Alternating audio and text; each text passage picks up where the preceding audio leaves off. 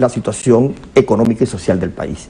Un país en las condiciones que tiene el aparato productivo no puede darse el lujo o darse este, la posibilidad de transitar un camino solo.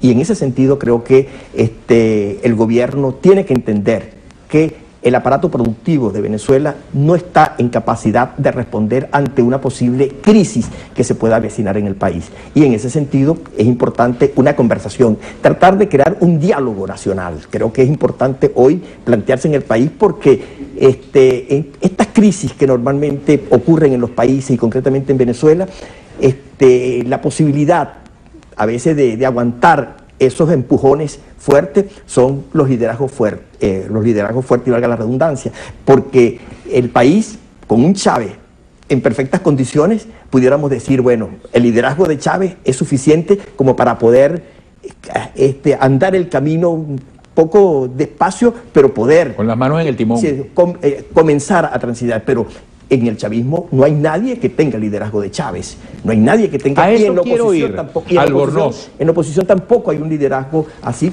con esa magnitud que pueda decirle, pararse ante el país y poder decirle, mire, el camino es este y vamos a transitarlos todos juntos. Y en ese sentido creo que hay que hacer un esfuerzo mucho más allá de la contienda normal, pues, de lo que se da en el mundo político venezolano. ¿Qué piensas? Bueno, el Ejecutivo nos dice, Chávez es el